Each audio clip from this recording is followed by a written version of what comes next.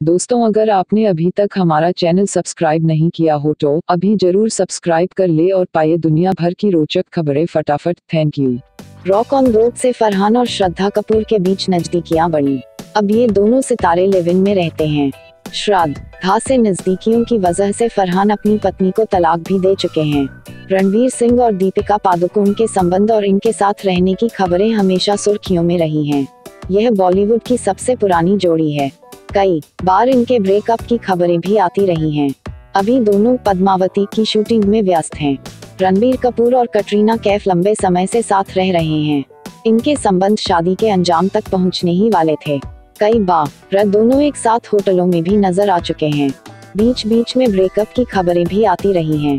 भारतीय cricket team के कप्तान विराट कोहली और अभिनेत्री अनुष्का शर्मा लंबे समय से साथ रहते हैं कहा जा रहा है कि दोनों बहुत जल्द शादी की बंधन में बंधने वाले हैं। हालाँकि, विराट या अनुष्का ने अभी इस बारे में कोई खुलासा नहीं किया है। सुशांत सिंह राजपूत जब टीवी में ही काम कर रहे थे, उसी समय वे अंकिता लोखंडे के करीब आए और दोनों एक साथ रहने भी लगे। इनकी शादी की खबरें भी आने लगी थी। लेकिन, बॉलीवुड में जाकर सुशांत ने अंकिता को भुला दिया। Like, comment, share this video and don't forget to subscribe this channel for more videos.